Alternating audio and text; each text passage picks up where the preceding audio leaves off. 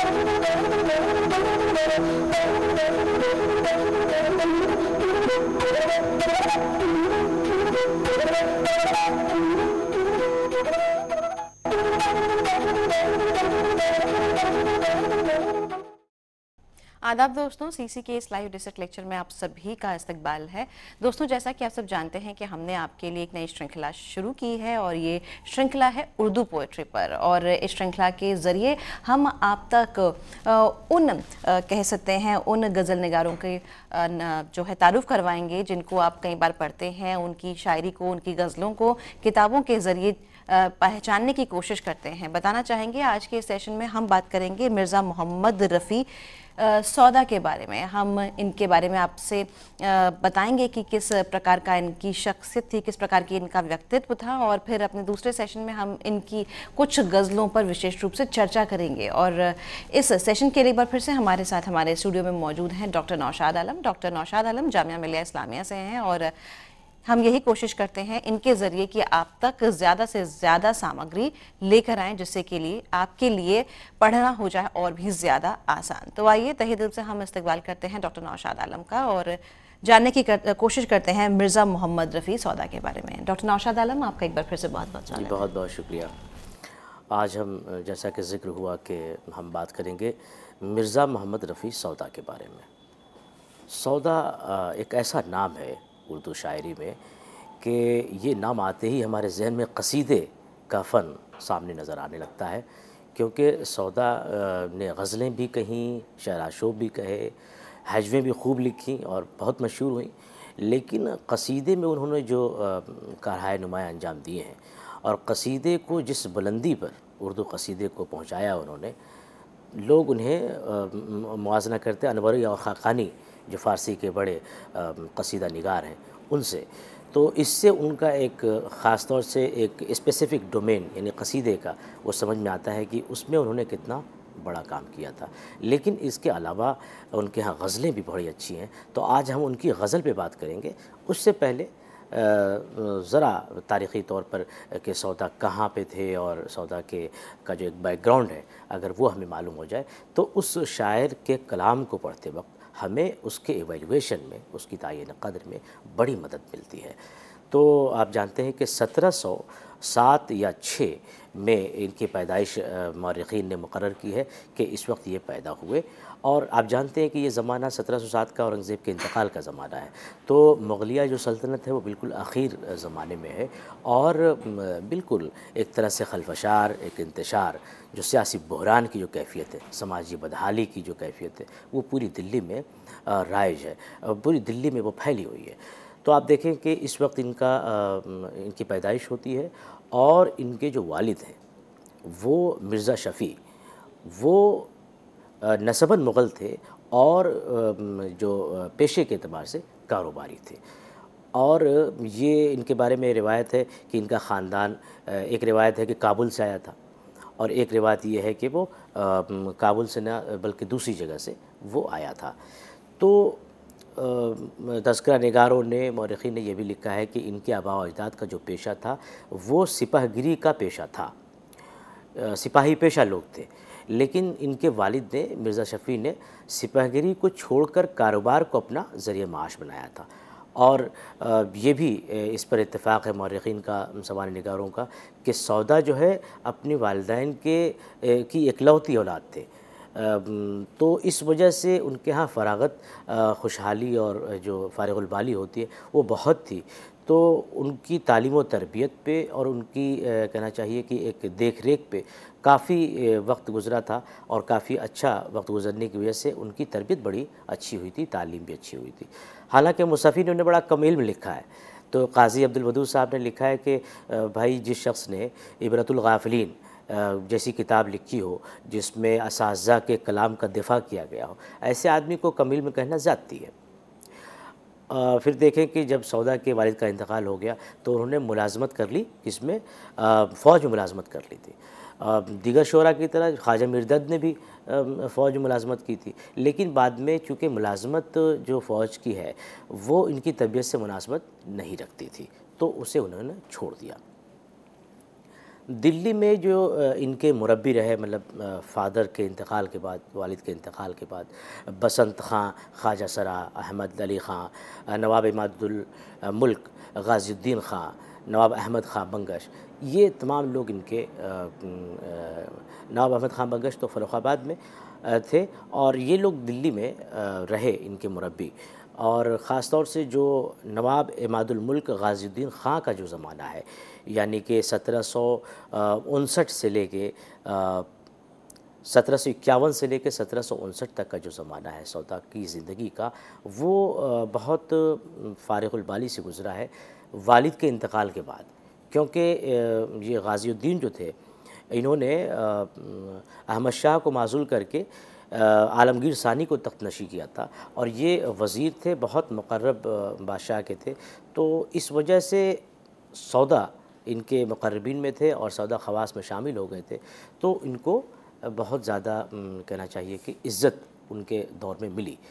और चूँकि ख़ुद गाज़ीउद्दीन शायर थे, उनकी अहलिया भी शायर थी तो अपनी शेरों शेर पर असलाह लेने की गरज से भी उनको यानी एक पहलू ये भी शामिल था उनकी इज़्ज़त के पीछे कि उसमें वो उनके यहाँ रहते थे। दिल्ली से दिगर शुरा की तरह बहुत सारे शायर जब दिल्ली की जो मजलिस थी, वो जब बर्बाद हुई ख़त्म हुई, तबाह हुई तो मुख्तलिफ़ शहरों में जो मजाफात के शहर हैं जो करीब करीब दिल्ली के शहर हैं, जैसे फ़रुखाबाद है आपके रामपुर है, इस तरह के इलाक़ों में बहुत सारे शरा गए जहाँ पर नवाब थे या सरप्रस्त थे, जो शेर अदब की सरप्रस्ती करते थे, वहाँ पर लोग जाते थे। तो सौदा भी फ़रुखाबाद गए, फिर उसके बाद वहाँ से वो फैज़ाबाद चले गए शुजाउद्दौला के पास। और शुजाउद्दौला जिस ज़माने में वो वहाँ गए हैं वो आप देखें कि वहाँ पर अंग्रेज़ों से सुलह हो चुकी थी। यानी ये ज़माना है आपके सत्रह सौ उनहत्तर से लेकर सत्रह सौ इकहत्तर के दरमियान में जब ये पहुँचे हैं तो इस ज़माने में अंग्रेज़ों के साथ सुलह हो चुकी थी। और लेकिन चूँकि लड़ाइयाँ बहुत दिन तक चल रही थी, इस वजह से उनको तहजीबी अमूर की तरफ़ ध्यान देने की की फुर्सत नहीं मिली थी। और जब सत्रह के बाद उसकी तरफ़ वो मुतज हुए। फिर शुजा के बाद आसिफुद्दौला बने और आसिफुद्दौला ने अपनी राजधानी फैज़ाबाद से लखनऊ मुंतकिल कर ली। जो लखनऊ मुंतकिल की है तो वहाँ सौदा भी उनके साथ, दरबार के साथ वाबस्ता हुए और लखनऊ आ गए। और लखनऊ में तकरीबन छः साल ये पूरी ज़िंदगी लखनऊ में रही उनकी। लेकिन ज़ाहिर है कि जो दिल्ली में इनको इज़्ज़त मिली या फिर इमादुलमुल्क के ज़माने में जो इज़्ज़त मिली, वो इज़्ज़त वहाँ पर नहीं मिली। और इसी ज़माने में 27 जून सत्रह सौ इक्यासी को सौदा का लखनऊ में ही इंतकाल हो गया और इमाम बाड़ा, इमाम बाकर में वहाँ पर उनकी तदफीन अमल में आई। शेख चाँद, जो कि बहुत बड़े महक़ हैं और सौदा का जब भी नाम जहन में आता है तो जिन महक्कीन का नाम जहन में आता है उनमें शेख चाँद जो है सर फहरिस्त हैं। उनकी तहकीक बहुत ही लायक एतबार है। वो ये कहते हैं कि जब सौदा का इंतकाल हुआ तो लखनऊ और दिल्ली के अदबी हलक़ों में बड़ी मायूसी और आ, कहना चाहिए कि बड़ी आ, बहुत मातम इस पर किया गया और इसमें बहुत अफसोस का इजहार किया गया। सौदा चूँकि अपनी वालदेन की अकलौती औलाद थे फ़रागत से पले थे और इस तरह से उनका मिजाज बन गया था। यारबाश किस्म के इंसान थे, मजलिस में रहना उनको पसंद था। मीर की जो तबीयत थी, बिल्कुल उसके मुखालिफ उनकी तबीयत थी। लोगों के साथ मुख्तलिफ़ समाज के जो मुख्तलिफ़ तबके हैं उसमें जो लोग होते हैं, उनके साथ उनकी दोस्ती थी। मौसीकार हो पेंटर हो, या फिर वो शायर हो, या फिर वो कातिब हो। गोया समाज का कोई भी ऐसा तबका नहीं था। आम तौर पर अगर देखें कि वो सौदा के साथ शामिल नहीं था। सौदा उससे दोस्ती रखते थे, उससे मनासिब रखते थे, ऐसे लोगों से। लेकिन उनकी तबीयत में तेज़ी कहना चाहिए कि जूद रंज थे। तेज़ी तो नहीं कहेंगे, जूद रंज थे, यानी कि कोई बात उनको बहुत जल्दी नागवार गुजर जाती थी। और जब ऐसा होता था तो वो अपना आपा खो देते थे एक तरह से, और वो हज भी लिखते थे। आपा खो देने के बाद ऐसा नहीं कि वो झगड़े करते थे, बल्कि वो हज भी लिखते थे, चूँकि लिखने पढ़ने का उनका काम था तो वो अपने कलम को हथियार बनाया करते थे, और ऐसी सख्त सख्त हजमें लिखते थे कि जो मद्द मुकाबिल है, वो पस्त हो जाता था। मीर जाहिक की मिसाल सामने की है मिर्ज़ा फ़ाखिर मकीम की मिसाल सामने की है। इसी तरह से नुदत काश्मीरी हैं कायम चांदपुरी ख़ुद उनके शागिर्द हैं और कायम चांदपुरी सौदा के शागिर्द हैं और उन्होंने सौदा कलाम में कोई खामी निकाली तो उसके ऊपर हज कह दी। यहाँ तक बात पहुँची कि उनको माफ़ी ही मांगनी पड़ी, तब जाके बात आगे बढ़ी। तब जाके वो दोस्ती जो पहले कायम थी, ये जो पहले रिश्ता था, वो उस्तवार हुआ। तो ये सारे लोग हैं जिनको, जिनकी उन्होंने हजवें लिखी हैं। और दूसरी, दूसरे मौजूद पर भी उन्होंने हजवें लिखी हैं, जो ये बताती हैं कि उनके अंदर जुद रंजी थी। किसी बात को लेकर जो उनको नागवार गुजरती थी, वो उस पर नाराज़ हो जाते थे और उस पर अपनी एक, अपना एक रद्द अमल वो दिया करते थे। तो ये सौदा का एक कहना चाहिए कि बहुत ही ब्रीफ उनके बारे में मैंने आपको, आपसे ज़िक्र किया। शायरी के बारे में सुन लें कि शायरी उन्होंने सबसे पहले फ़ारसी में शुरू की। और फ़ारसी में उन्होंने उस ज़माने के जो बहुत बड़े शायर और एक बड़े आलिम खान आरज़ू थे, उनसे असलाह लेनी शुरू की। बाज़ लोगों का ख्याल है कि सलमान कुली ख़ां वदाद को भी उन्होंने अपना उस्ताद बनाया था। तो ये चीज़ हुई कि फ़ारसी के हवाले से। और फ़ारसी गोई का सिलसिला जो है वो ताहयात कायम रहा। यहाँ तक कि फ़ारसी में उनका एक दीवान भी मरतब हो गया। उर्दू में भी शायरी उसी ज़माने में शुरू की और शाह हातिम को अपना उस्ताद बनाया। शाह हातिम को उस ज़माने में उस्ताद बनाया और सौदा ने ख़ुद अपनी उर्दू शायरी के बारे में ये लिखा है कि किसी ने उनको ये बताया कि फ़ारसी ज़बान में चाहे तुम जितनी अच्छी शायरी कर लो, लेकिन चूँकि वो तुम्हारी मादरी ज़बान नहीं है तो तुम उनमें वो तरक्की नहीं कर सकते जो मादरी ज़बान का शायर कर सकता है। यानी फ़ारसी ईरान का जो शायर उसमें जो नुक्ते निकाल देगा शायरी में, जो बातें कह देगा, वो तुम नहीं कर पाओगे। एक तो ये बात। दूसरी ये बात कि कहने वाले ने ये भी कहा कि जो माना का हुस्न है, वो ज़बान का पाबंद नहीं होता। वो फ्रांसीसी हो, अंग्रेज़ी हो, हिंदी हो, उर्दू हो, किसी भी ज़बान में आप खूबसूरत ख्याल हो, उसे आप ढाल सकते हैं। ये बातें सौदा को बड़ी पसंद आई और इसी वजह से उन्होंने शायरी उर्दू में उसकी तरफ़ मायल हुए और शायरी शुरू कर दी। थोड़ी सी मश्क के बाद सौदा की जो तबीयत थी वो बड़ी मौजू तबीयत थी और बहुत जल्दी उन्होंने एक, वो शहरत हासिल कर ली जो आम तौर पर लोगों को एक ज़माना लग जाता है। तो आप देखें कि जो हातिम हातिम की एक गज़ल है, हातिम के दीवान में 1745 में, वो गज़ल सौदा की ज़मीन में है, जो ये बताता है कि सौदा उस वक्त कितने पॉपुलर हो चुके थे। 1745 के आसपास। उनकी उम्र जो थी वो पैंतीस साल थी। और उस ज़मीन में हातिम, जो कि उस्ताद हैं सौदा के, वो शेर कह रहे हैं। तो शागिर्द की ज़मीन में शेर कहना, ये इस बात पर दलालत करता है कि वो शागिर्द कितना पॉपुलर और कितना मशहूर हो चुका है। इस शहरत की दो वजूहत हैं। पहली वजह तो ये कि सौदा ने सिर्फ़ गज़लें नहीं गई कसीदे भी कहे यानी तमाम असनाफ़ सुखन मसनवी भी कही शहरा शोब भी लिखे दिगर असनाफ़ सुखन रुबाइयाँ भी कहीं क़तात भी कहे मरसिए भी कहे। तो गोया आप देखेंगे कि तमाम असनाफ़ सुखन पर उन्होंने तबाह आजमाई की है। एक तो ये चीज़ है। दूसरी चीज़ है कि समाज के आ, हर तबके से उनकी दोस्ती एक तरह से ये बहुत बड़ी चीज़ थी बहुत बड़ी वजह थी जो उनको पॉपुलर बनाती थी। तो ये दो चीज़ें इतनी पॉपुलर थी कि अपने उस्ताद उस्ताद को मतलब मजबूर होना पड़ा या उस्ताद ने मायल होकर के उनकी ज़मीन में गज़लें कही है। वो गज़ल कही है।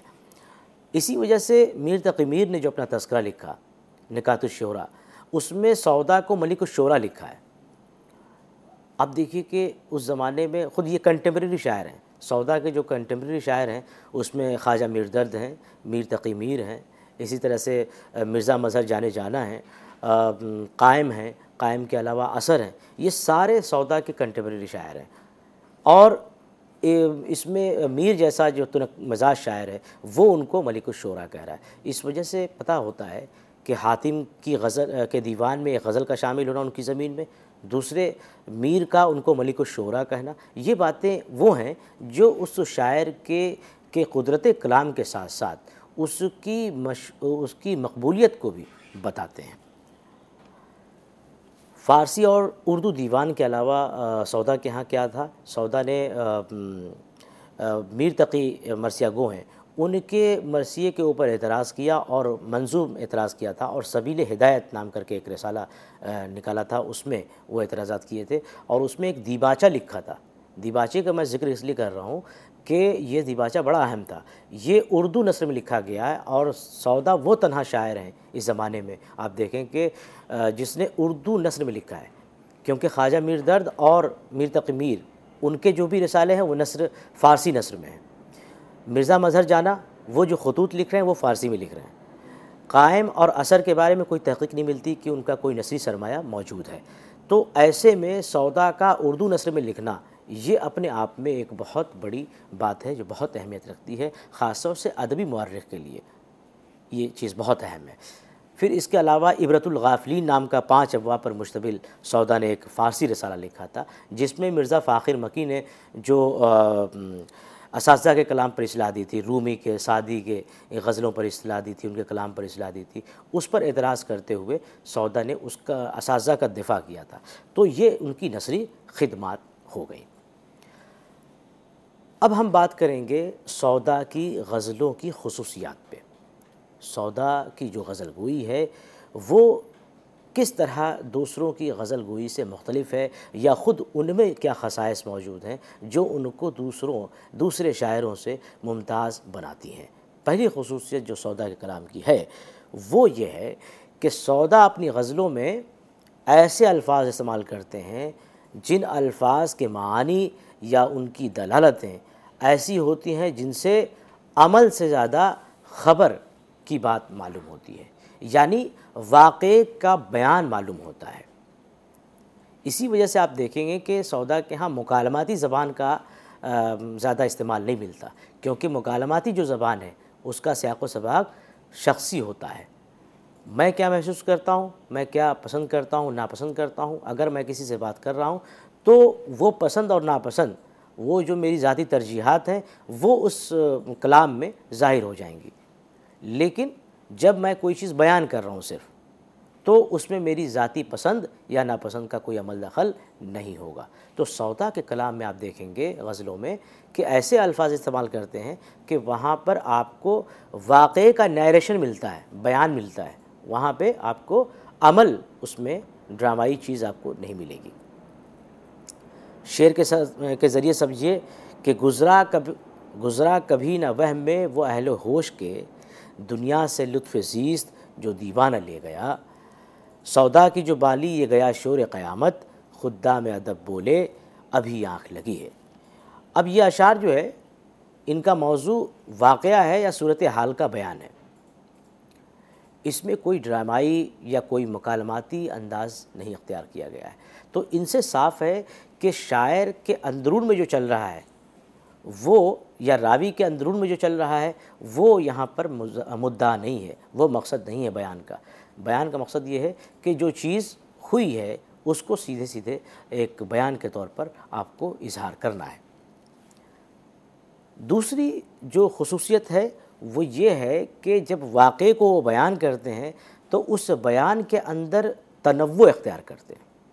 तनव इख्तियार करते हैं मतलब नित नए तरीक़े से उसे बयान करते हैं कि वो जो मीर अनीस ने कहा है ना कि एक फूल का मजमून हो तो सौरंग से बांधो, वो ये चीज़ यहाँ पर वो करते हैं कि वो जो पेशकश का अंदाज़ है, वो तब्दील कर देते हैं।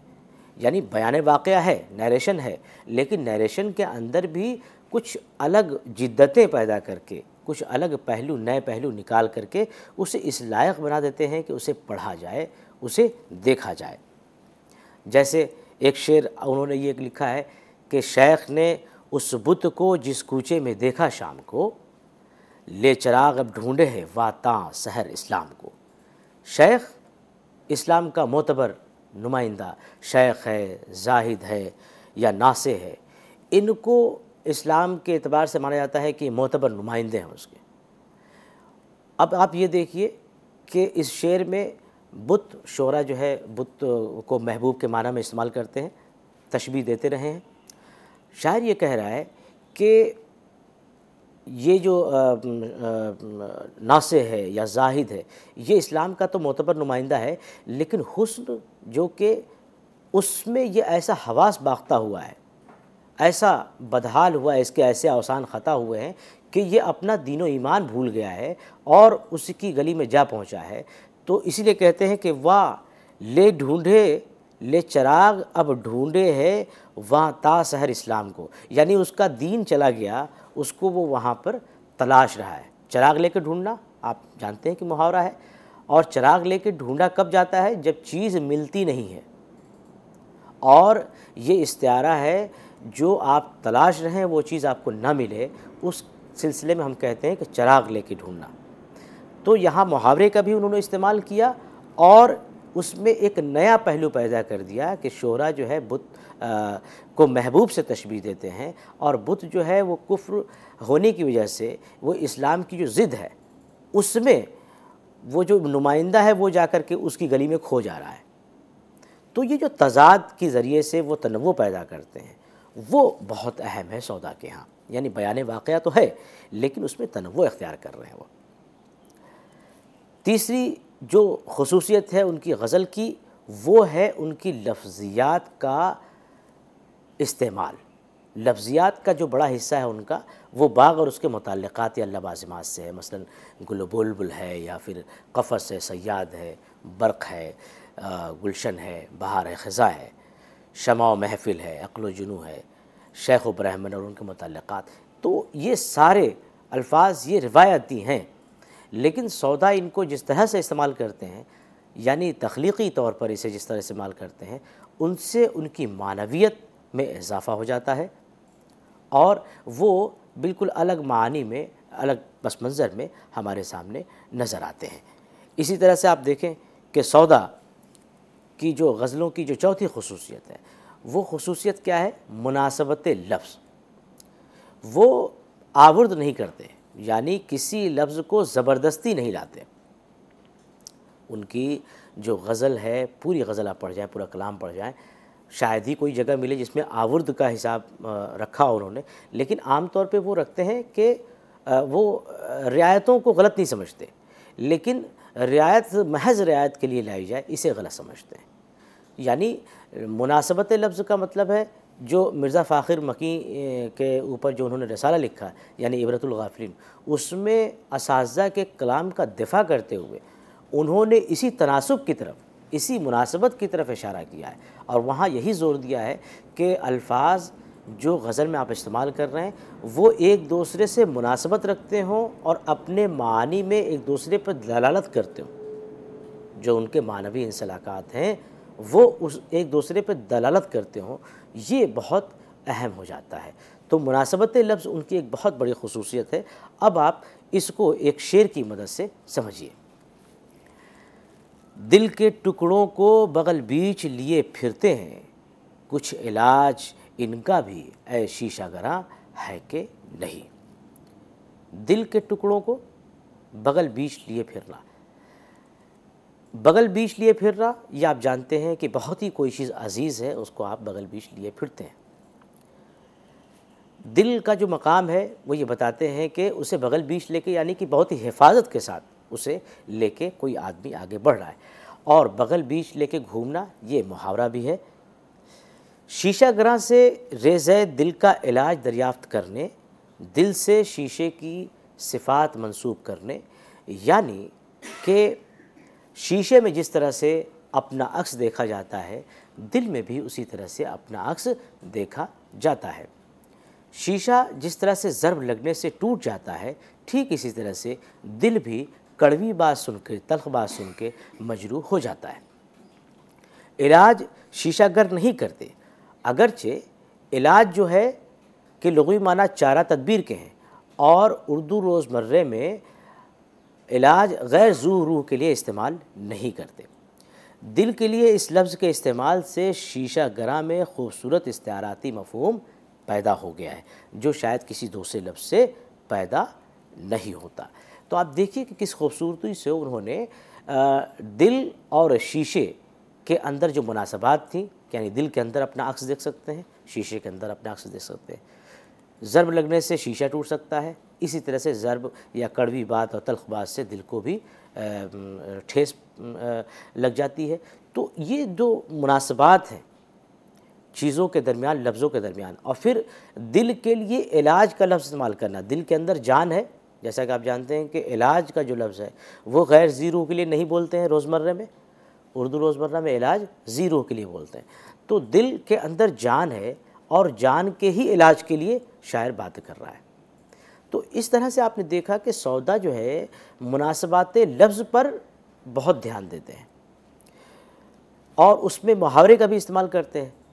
बगल बीच लिए फिरने का एक मुहावरा इस्तेमाल किया।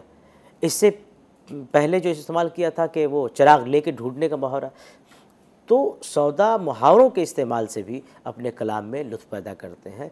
और उससे बड़ी बात कि वो लफ्ज़ों के, की जो दलालतें हैं, यानी एक लफ्ज़ के अंदर क्या क्या खसूसियात हैं।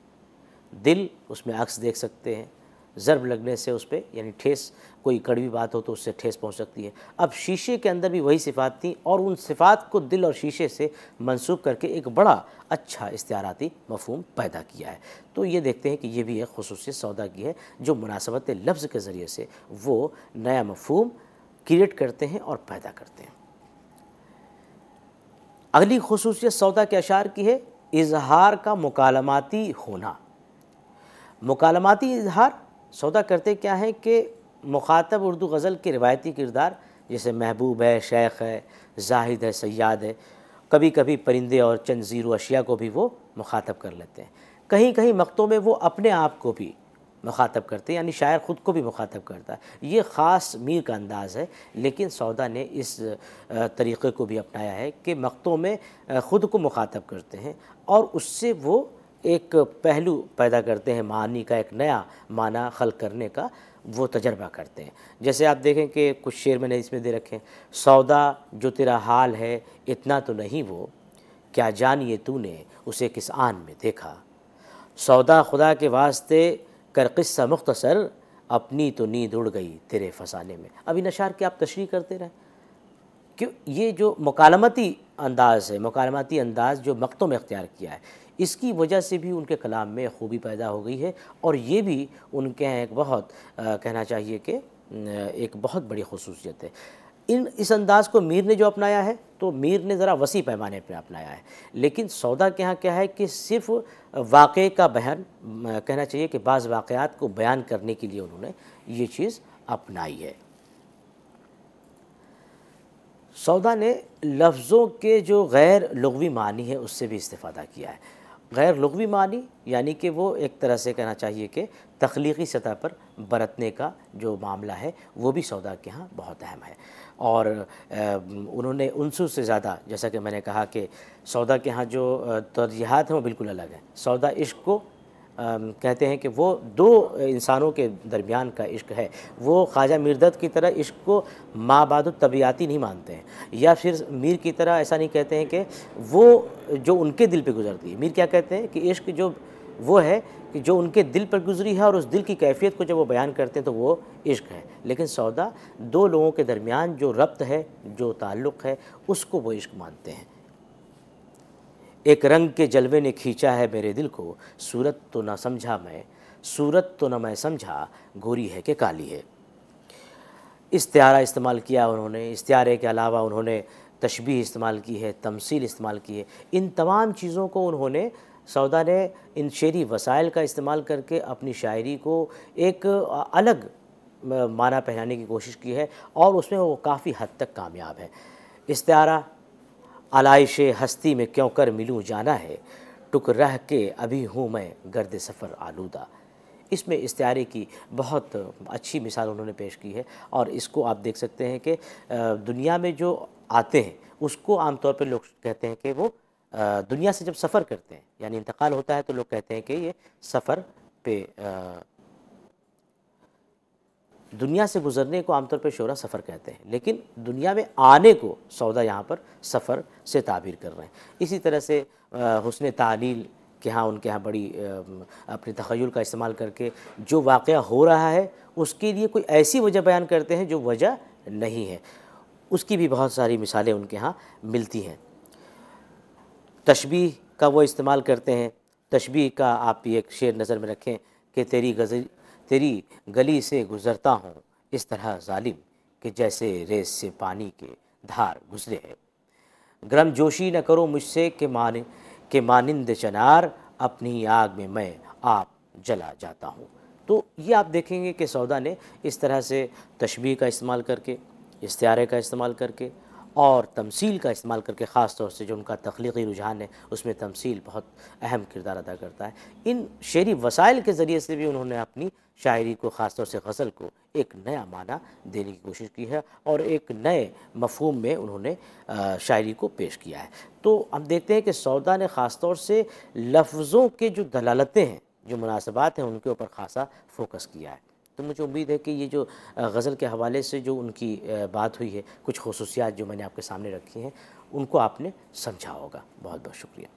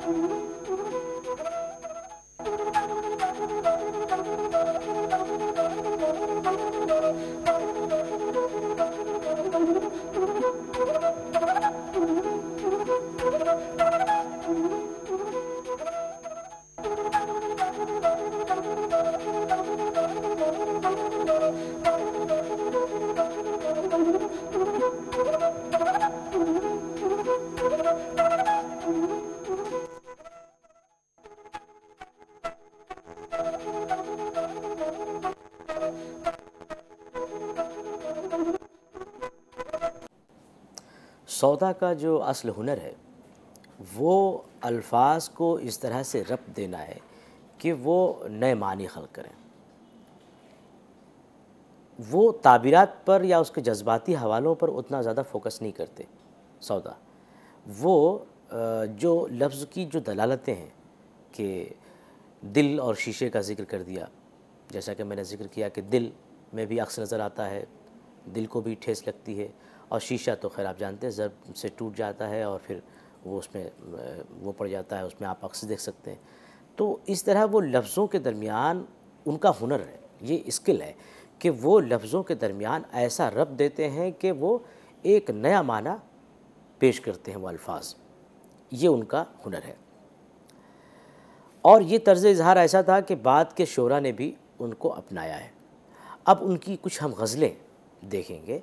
और उन गज़लों को समझने की कोशिश करेंगे कि किस तरह से वो अल्फाज मुनासबात लफ्ज़ का ध्यान रखते हैं अपनी गज़लों में या फिर किस तरह से वो अल्फाज को रब देते हैं एक दूसरे से कि वो एक नया माना पैदा करते हैं और एक नया मफहम।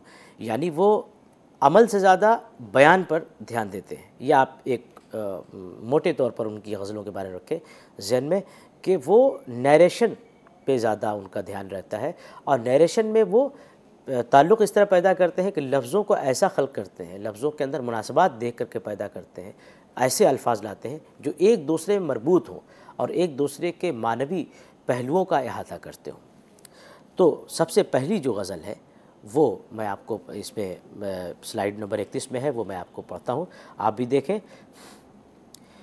गज़ल पढ़ने से पहले एक चीज़ और बता दूँ कि जो आर्ट ऑफ़ रीडिंग है, गज़ल को पढ़ने में वो बहुत ही मुआविन साबित होती है। अगर आपने गज़ल को उस तरह नहीं पढ़ा जैसे कि उसे पढ़ना चाहिए था, यानी कि कहाँ पे आपको कौमा देना है, कहाँ पे आपको रुकना है, कहाँ पर आपको सकता है, या कहाँ पर आपको स्ट्रेस देना है, अगर आप इस हुनर से आगाह हो जाते हैं, वाकिफ़ हो जाते हैं तो गज़ल का आधा मफहम तो आपको यूँ ही पता लग जाता है। कुछ फिर डिक्शनरी देख करके मतलब देख करके आपको पता लग जाता है। अब जब मैं आप इसे पढ़ूँगा तो आप उसे देखिए कि अल्फाज मैं कहाँ किस पर जितना ज़ोर दे रहा हूँ, कहाँ रुक रहा हूँ और कैसे इसको अदा कर रहा हूँ। गुल फेंके है औरों की तरफ़, बल्कि समर भी। ए खान बरंदाज चमन, कुछ तो इधर भी। क्या ज़िद है मेरे साथ, खुदा जाने वगरना काफ़ी है तसल्ली को मेरे, एक नज़र भी। अय अब्र, कसम है तुझे रोने की हमारे, तुझे चश्म से टपका है कभी लख्त कभी लखते जिगर भी। ऐ नाल सद अफसोस, जवां मरने पे तेरे, पाया न तनिक देखने में रूए असर भी। किसी हस्ती मफहू किसी हस्ती मवहूम पे नाजा है तू है यार। कुछ अपने शब रोज़ की है तुझको खबर भी। तन्हा तेरे गम ही में नहीं, शाम से पोश, रहता है सदा चाक, गरेबान सहर भी। सौदा तेरी फरियाद से आँखों में कटी रात। सौदा तेरी फरियाद से आँखों में कटी रात। आई है सैर होने को, टुक तो कहीं मर भी। अब आप देखेंगे पहला शेर, गुल फेंके है औरों की तरफ़, बल्कि समर भी। महबूब को मुखातब कर के कह रहा है कि गुल यानी कि फूल, समर यानी कि फल। फूल और फल तू दूसरों की तरफ़ तो फेंक रहा है। फूल और फल फेंकने का मतलब क्या है? यानी अपनी इनायतों की बारिश कर रहा है। फेंकना फेंकना किसी चीज़ की तरफ़, यानी कि यानी तुम्हारे पास बहुत ज़्यादा है, वो दौलत लुटा रहा है, जिसे हम कहते हैं फेंक रहा है। फेंकता है जब कोई चीज़ आदमी तो उसके अंदर एक चीज़ ये हो जाती है कि उसको बहुत ज़्यादा केयर नहीं कर रहा है। यानी उसके पास वो चीज़ बहुतात है, इफ़रात में है, तब तो उसकी केयर नहीं कर रहा है। अगर चीज़ कम होगी तो आदमी एहतियात के साथ खर्च करता है, लेकिन चीज़ जब ज़्यादा होती है तो उसमें एहतियात, खुद ब खुद वो चीज़ ख़त्म हो जाती है। एहतियात का पहलू आदमी के जहन से उतर जाता है। तो आप देखिए कि महबूब की तरफ़ कह रहा है, शायर की तू दूसरों पे तो बड़ा मेहरबान है। अय खान है बरअंदाज चमन खाना फ़ारसी का लफ्ज़ है, उसका मतलब है घर। बर का मतलब पर, यानी कि ऊपर। अंदाज चमन बर अंदाज चमन, यानी चमन के अंदाज का वाला घर, यानी कि चमन की तरह खूबसूरत। तो महबूब को मुराद लिया है यहाँ पर। मेटाफरिकल है। इसे आप इस्तेमाल करते हैं इस तरह से। ये एक तरकीब है। तो शायर कह रहा है महबूब से कि तू दूसरों पर तो बड़ा मेहरबान है कि उनकी अपने इनायतें अपने लुत्फ़ करम से उन्हें नवाज़ रहा है। लेकिन जो मैं कि आशिक हो तेरा, चाहने वाला हो, ख़ुद उससे महरूम हो। तो उससे एक तरह की तरगीब दे रहा है उसको कि मेरी तरफ़ भी अपनी नज़र इनायत कर। गुल फेंके है औरों की तरफ़, बल्कि समर भी ए खार अमर अंदाज चमन, कुछ तो इधर भी। यानी सबका सब न दे, लेकिन ज़रा इनायत का हकदार तो मैं भी हूँ, इसलिए मुझे तरफ़ भी इनायत का करम, इनायत की नज़र होनी चाहिए। अब दूसरे शेर में देखें, क्या ज़िद है मेरे साथ, खुदा जाने वगरना, काफ़ी है तसल्ली को मेरे एक नज़र भी। यहाँ शायर महबूब को मुखातब नहीं कर रहा है, बल्कि ये एक ख़ुद कलामी का भी लहजा हो सकता है और ये किसी एक दोस्त दोस्त का भी हो सकता है कि दोस्त को मुखातब को एक तरह से उसे बयान कर रहा है कि पता नहीं क्या बात है, अगर वो ऐसा कर ले, अगर वो सिर्फ़ देख ले तो भी मैं, मेरी जो जो आरज़ू है, जो मेरी हसरत है, वो निकल सकती है। बहुत ज़्यादा सिर्फ़ तसल्ली दे दे। तसल्ली क्या देते हैं हम आमतौर पे जो हम बात करते हैं या अपनी समाजी ज़िंदगी में किसी को तसल्ली देते वक्त क्या करते हैं? सिर्फ़ दो मीठे बोल बोल देते हैं। हमें देना कुछ नहीं है। या ये तय नहीं है कि देंगे या नहीं देंगे, उससे अपार्ट फ्रॉम दैट कि आप दे रहे हैं या नहीं दे रहे हैं, लेकिन सिर्फ़ जो तो बोल हैं, उससे जो आदमी ज़ख्मी है, उसके दिल को बहुत मरहम का वो चीज़ काम करती है। वो अपने आप खड़ा हो जाएगा, लेकिन उसे वो दो बोल की ज़रूरत पड़ती है। शायद वो यही कह रहा है कि मैं तो यूँ ठीक हो जाऊँगा, लेकिन अगर वो बोल बोल दे तो मेरे लिए वो एक तरह से दरमा हो जाएगा। जो मेरा ज़ख्म है या जो मेरी कैफियत है, उसमें मुझे आराम मिल जाएगा। तो आप देखें कि यहाँ पर शायर महबूब से ना ज़िक्र करके ये ख़ुद कलामी भी हो सकती है कि अंदर अंदर बड़बड़ा रहा है कि जो है, क्या ज़िद है मेरे साथ खुदा जाने वगरना। आदमी तनहा होता है, कोई चीज़ वो जो बहुत शिद्दत से चाह रहा है, अगर वो चीज़ उसे नहीं मिलती है तो उसकी तरफ़ वो तन्हाई में बड़बड़ाता है कि पता नहीं क्यों मिल, नहीं मिल रही पता नहीं मुझसे क्या ख़ता हो गई है। या कौन सा मेरा काम गलत हो रहा है? कौन सा कौन सी मेरी एक्टिविटीज़ गलत हो रही है जिसकी वजह से ये बाधा आ रही है? ये परेशानी बीच में, मेरे मकसद के हसूल में परेशानी आ रही है। तो ये दोनों तरह से आप इसे ले सकते हैं।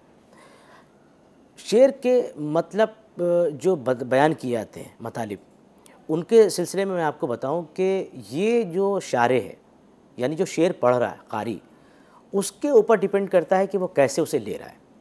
इस सिलसिले में कारी का मताला, उसकी जो मालूम है, उसका जो कहना चाहिए, जो क्रिटिकल अंडरस्टैंडिंग है किसी चीज़ के बारे में, या उसका अपना एक विज़न है जो कायनात के बारे में या ज़िंदगी के बारे में, या जो उसके जो मसाइल हैं ज़िंदगी में, उनके बारे में जो उसकी अपनी फ़िक्र है ये सारी चीज़ें बहुत मुआविन होती हैं तशरी करते वक्त। एक जो कारी है एक जो शारे है शेर को समझ रहा है। जैसे इन अशार की जो मैं तशरी कर रहा हूँ ये मैं अपने हिसाब से कर रहा हूँ।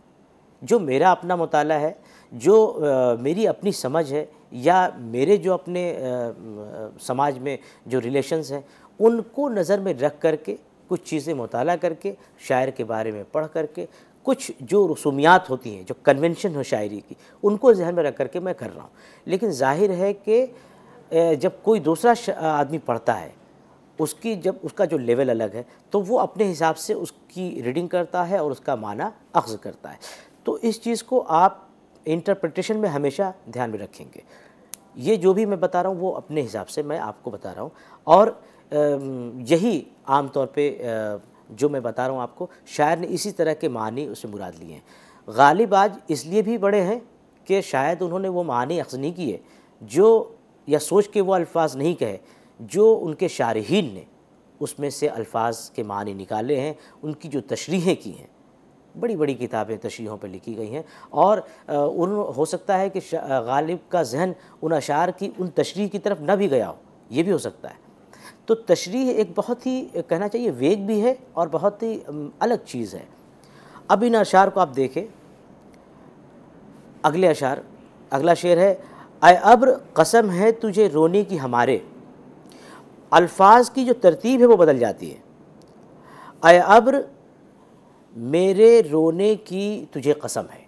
ये अगर उसको प्रोज़ में लिखें तो ऐसे लिखेंगे कि कसम है अब्र तुझे कसम है मेरे रोने की अब्र।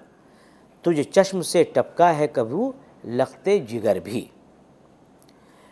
अब्र को कहना चाहिए कि शाहिद बना रहे गवाह बना रहे हैं, शायर और रावी, कि तुझे कसम है किस बात की? मेरे रोने की।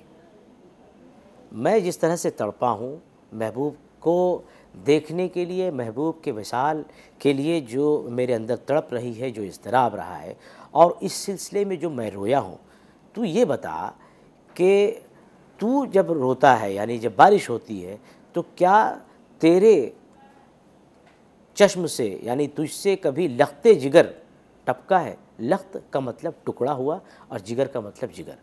बच्चे को इसीलिए लखते जिगर कहते हैं, इस्तारा, यानी कि वो जिगर का टुकड़ा होता है। जिगर का टुकड़ा शायर क्यों कह रहा है?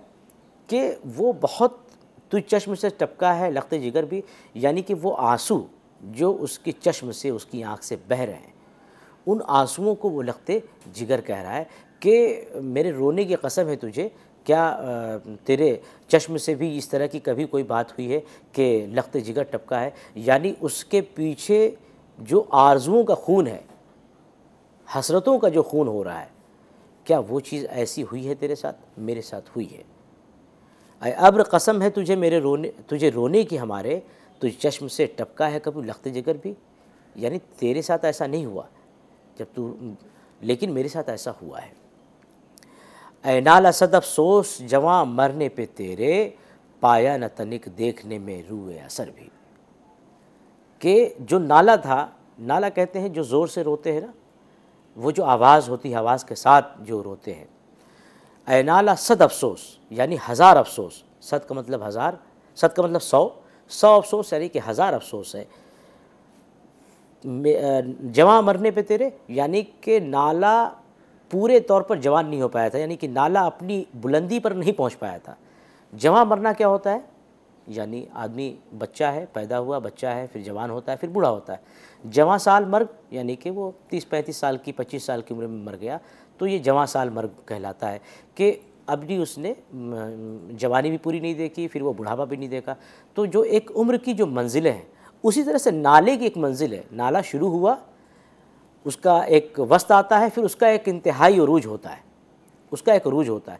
तो वो अरूज पे नहीं पहुँचने पाया था और उससे पहले उसने दम तोड़ दिया। तो उसको शायर कह रहा कि ए नाला सद अफसोस जमा मरने पे तेरे पाया न तनिक देखने में रू असर भी, कि उसमें अभी असर पैदा नहीं हुआ था। उस नाले में असर पैदा नहीं हुआ था।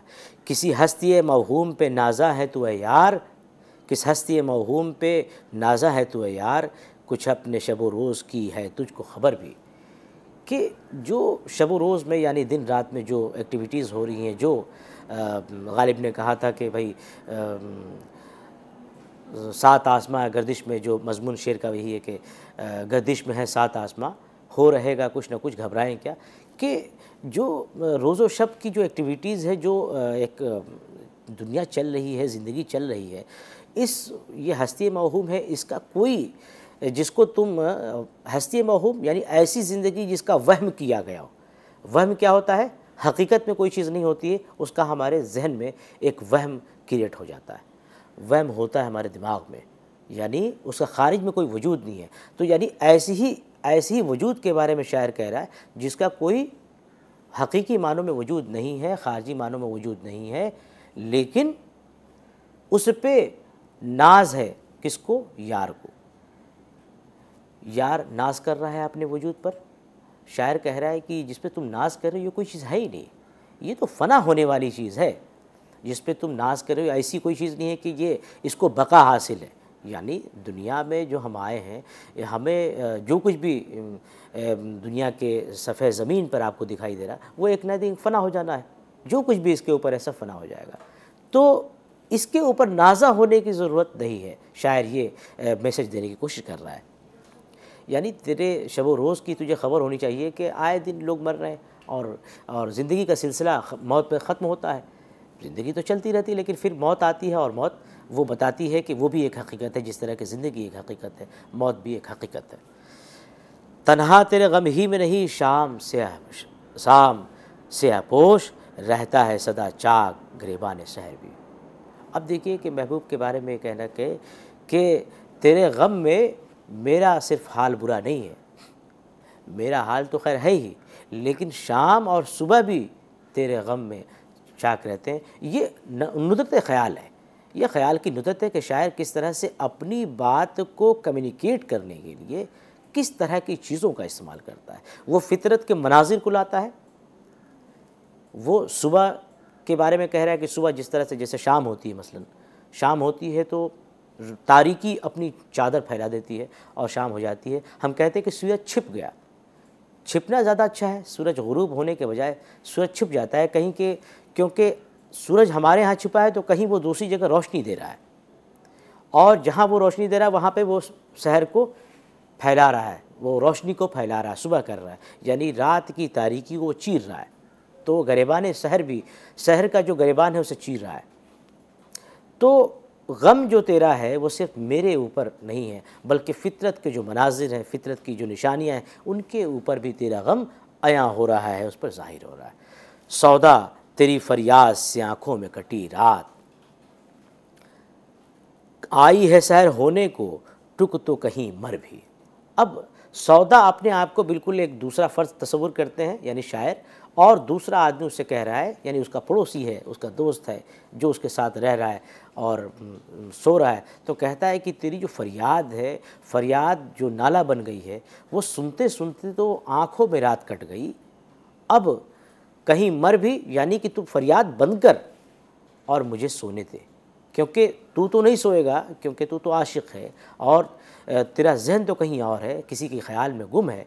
इसलिए तेरी शहर तो तेरी रात हो या ना हो, तुझे नींद आए या ना आए, लेकिन इस इस दोस्ती की सोहबत में, इस सोहबत में मेरी नींद ख़राब हो रही है और मेरी रात अब सहर होने को है और रात इसी तेरी फरियाद में कट गई है। तो बरए करम, अब ऐसा कर कि तू मुझे सोने दे और अपनी यह फरियाद बंद कर। तो ये पूरी गज़ल आप देखें कि किस तरह से अल्फाज के मुनासबात के तरीके तैयार हुई है और उन्होंने बड़े अच्छे मानी इसके अंदर पिरोए हैं। दूसरी गज़ल है नसीम है तेरे कूचे में और सबा भी है, हमारी खाक से टुक देख कुछ रहा भी है। तेरा गुरूर मेरा अज्ज, ता कुजा जालिम। हर एक बात की आखिर कुछ इंतहा भी है। जले है शमा से परवाना और तुझसे मैं। कहीं भी महर है जग में, कहीं वफा भी है। ज़बान शिकवा सिवा अब ज़बाने में है हाथ। कोई किसी से बहम दिगर आशना भी है। सितम रवा है, असीरों पे इस कदर सयाद। चमन चमन कहीं, बुलबुल की अब नवा भी है। और समझ के रखियो कदम दशते खार में मजनू, के इस नवाह में सौदा बरहना पा भी है। नसीम है तेरे कूचे में, और सबा भी है। हमारी खाक से टुक देख कुछ रहा भी है। यानी महबूब के गली में क्या है? नसीम है, यानी जो पुरवाई जो चलती है, यानी पूर्वा जो मशरक़ से जो हवा चलती है, उसको उर्दू में नसीम कहते हैं, पुरवाई को। सबा जो भीनी भीनी खुशबू वाली हवा होती है, जिसमें रात में ख़ास तौर से रात की जो रानी फूल है, या उस तरह से जो फूल लगाते हैं क्यारियों में, उन फूलों से टकरा के जो हवा आती है इतरबीज़ हवा, या सुबह के वक्त अगर आप चमन की सैर करें और पार्क जाएँ तो वहाँ आपको भीनी भीनी खुशबू नज़र आपको मिलती है। तो उसके बारे में कह रहे हैं कि नसीम है तेरे कूचे में और सबा भी है। ये दोनों चीज़ तेरे कूचे में है। हमारी खाक से टुक देख कुछ रहा भी है। यानी खाक अपनी मिट्टी को, यानी अपने वजूद को वह खाक तस्वर करते हैं कि यहाँ कुछ भी नहीं है, कि यहाँ बिल्कुल सन्नाटा है, वीराना है और तेरे यहाँ तो बहुत कुछ है और इन सब चीज़ों का गुज़र है। यानी तेरी ज़िंदगी जो है शादाबी से गुज़र रही है और खुश खुर्रम गुज़र रही है, लेकिन तेरे इश्क में मेरा जो हाल है, वो बदहाल है और मैं बिल्कुल, यानी कहना चाहिए कि मेरी जो मैं ज़मीन हो चुका हूँ, यानी कि मैं खाकिस्तर हो चुका हूँ। तेरा गुरूर मेरा इज़ ता कुजा ालिम ता कुजा कुजा फ़ारसी है, ता का मतलब कहाँ तक?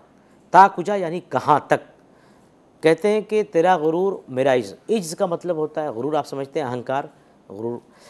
इज़ का मतलब होता है फ़िरोतनी इनकसारी, मिजाज में जो सबमिशन होता है, यानी सबमिसिव नेचर का जो आदमी होता है, उसको अब कह सकते हैं कि वो आजिज़ है, यानी कि वो बहुत ही मिलनसार भी है और फ़िरोतनी है उसके मिजाज में, कि दोनों चीज़ें ज़िद हैं, आप देखें कि किस तरह से वो मुनासबात को लाते हैं और किस तरह से वो तकाबुल के ज़रिए से किस तरह से मतजाद अल्फाज के ज़रिए से वो सीन क्रिएट करते हैं। तेरा गुरूर, मेरा इज्ता कुजा ालिम हर एक बात की आखिर कुछ इंतहा भी है। यानी मैं तो खुश अखलाक़ी में और कहना चाहिए कि इनकसारी में तेरे साथ इस तरह से पेश आ रहा हूँ और बिल्कुल बिछा जा रहा हूँ कहना चाहिए। लेकिन तेरा तू पकड़ने में ही नहीं आ रहा है। यानी कि तू किसी भी तरह से हाथ में नहीं आ रहा है। तो बहुत सारे अशार किसी गज़ल में आप देखेंगे कि वो उस गज़ल की को भरने के लिए भी होते हैं, कुछ कुछ अशार। लेकिन इस शेर में आपने देखा कि तज़ाद की वजह से कितना खूबसूरत मफहम उन्होंने पैदा किया है। जले है शमा से परवाना और तुझसे मैं। यानी परवाना शमा की गर्मी से जल जाता है और मैं तेरी गर्मी से जल जा रहा हूँ। यानी ये जो गुरूर की जो तेरी गर्मी है, जो अहंकार की गर्मी है कहीं भी महर है जग में, कहीं वफा भी है। यानी अब, शायर को ये मालूम महसूस नहीं हो रहा कि कहीं दुनिया में कोई लुत्फ़ की बात भी होती है या कहीं इनायत की बात भी होती है। यानी पूरी दुनिया उसे वीरान नज़र आती है, ऐसी पूरी दुनिया उसे ालिम नज़र आती है। कहीं है भी, कहीं वफ़ा भी है। यानी कि मैं तो उससे वफ़ा किए जा रहा हूँ और मैं उससे नरमी और खुश अखलाक़ी से पेश आ रहा हूँ। लेकिन उसका जो मामला है, वो गर्मी का मामला है, उसका मामला गुरूर का मामला है। उसकी वजह से मेरी जो दुनिया है वो बिल्कुल उजड़ रही है। तो उसको ये एतबार शायर को नहीं हो रहा है कि दुनिया में कहीं वफ़ा है भी या नहीं है, यानी उसको इसका यकीन नहीं हो रहा है। वो सवालिया निशान उस पर कायम कर रहा है कि क्या ऐसा है भी? कुछ रहा भी है? यानी इस पूरी गज़ल की जो रदीफ़ आप देखेंगे, कुछ रहा भी है?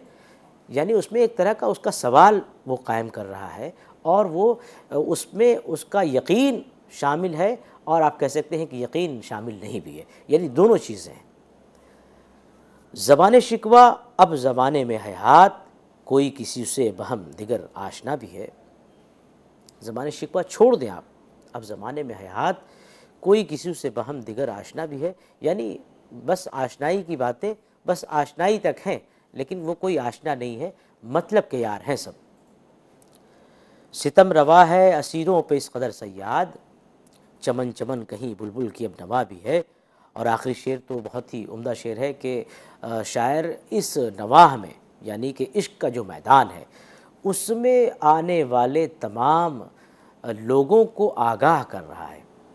वो ये कह रहा है कि भाई देखो, इसमें आप चप्पल पहन के या आप यानी चप्पल पहन के और जूता पहन के आने की बात नहीं है। वो ये कह रहा है कि यानी मज़बूत हौसले और इरादे से। मैं इस मैदान में बहुत ही मज़बूत हौसले और इरादे से, यानी कि इस रेगिस्तान में बहुत जुल्म है। ये जो मैदान है, यानी इश्क का मैदान, उसमें नाकामी है, हसरत है, ना नाकामयाबी है। इन तमाम चीज़ों के बावजूद, इन तमाम शिद्दतों को झेलने के साथ मैं इसमें, यानी बरहना पा हूँ। यानी कि मज़बूत हौसले इरादे के साथ मैंने उतार दिया है और मैं डटा हुआ हूँ। तो अब जब तुम आ रहे हो तो ये देख लेना कि मैं इस मैदान में किस तरह से डटा हुआ हूँ। अब क्या किस तैयारी के साथ तुम आओगे? ये तुम अपनी देख लेना कि मैं इस मैदान में बरहना पा हूँ। उसके बावजूद मुझे अभी कोई चीज़, यानी कि ये बहुत ही शिद्दत वाली बात है कि इस मैदान में मुझे कितना खोना पड़ा है। असल मफहम यही है कि इस मैदान में मुझे कितना खोना पड़ा है, आप ये देखिए। और जब आने से पहले ये ज़रूर देख लेना कि समझ के रख, रखियो कदम दशते खार में, यानी ये इश्क का जो मैदान है, वो कांटों का जंगल है। कांटों के जंगल में मैं कैसा हूँ? बरहना पा हूँ। यानी कि मैंने पैर में कुछ पहन नहीं रखा है और कांटों के जंगल में चल रहा हूँ। तो गोया वो इश्क मैदान को कांटों का जंगल बता रहे हैं, जिसमें वो पैदल हैं, यानी कि वो कांटे चुभ रहे हैं उनको। और वो चुभन और वो शिद्दत उनके अंदर पैबस्त होती जा रही है, उससे वो आगाह कर रहे हैं कि देखो, उसके बाद भी मुझे कामयाबी नहीं मिल रही है। तो तुम आने से पहले ये सोच लेना कि सौदा जो आशिक है, जो इश्क के मैदान में उतरा है, वो खार है दश्त खार है उसमें वो पढ़ना पा मौजूद है। तो इस तरह आप देखें कि उनके अशार अल्फाज की मुनासबत के साथ साथ उनके यहाँ जो तशबीहात हैं, जो इश्तारे हैं, तमसील के ज़रिए से, या और फिर वो हुसन तालील की मदद से भी, ये जो शेर तरीक़ा, शेरी तरीक़ार है, वो उनकी मदद से अपने अशार में ऐसे मानी पैदा कर देते हैं, ऐसे ऐसे पहलू पैदा कर देते हैं जो देखने के लायक है और पढ़ करके उन्हें लुत्फ़ लेने के लायक है। तो मुझे उम्मीद है कि ये गज़ल भी आपको समझ में आई होगी। बहुत बहुत शुक्रिया। इसी साथ हम डॉक्टर नौशाद आलम का बहुत बहुत शुक्रिया अदा करना चाहेंगे। दोस्तों, हम यही चाहते हैं कि अगर आपकी कोई भी प्रतिक्रियाएँ हैं, कोई भी सुझाव हैं तो ज़रूर हमारे साथ साझा करें। हमारी ईमेल आईडी है info dot C C at the rate N I C dot in और हम यही कोशिश करेंगे कि आपके जो सवाल हम तक पहुँचे हैं हम उन सवालों के जवाब आपको दे सकें। जब अगली बार डॉक्टर नौशाद आलम हमारे स्टूडियो पहुँचेंगे तो हम साक्षात यहीं आपके सवालों के जवाब देने की कोशिश करेंगे। आप हमसे संपर्क कर सकते हैं हमारी ईमेल आईडी के ज़रिए। हमारी ईमेल आईडी है info dot C C at the rate N I C dot in आप सभी से फिर मुलाकात होगी तब तक के लिए आप सभी को नमस्कार। एक बार फिर से हम डॉक्टर नौशाद आलम को शुक्रिया देना चाहेंगे।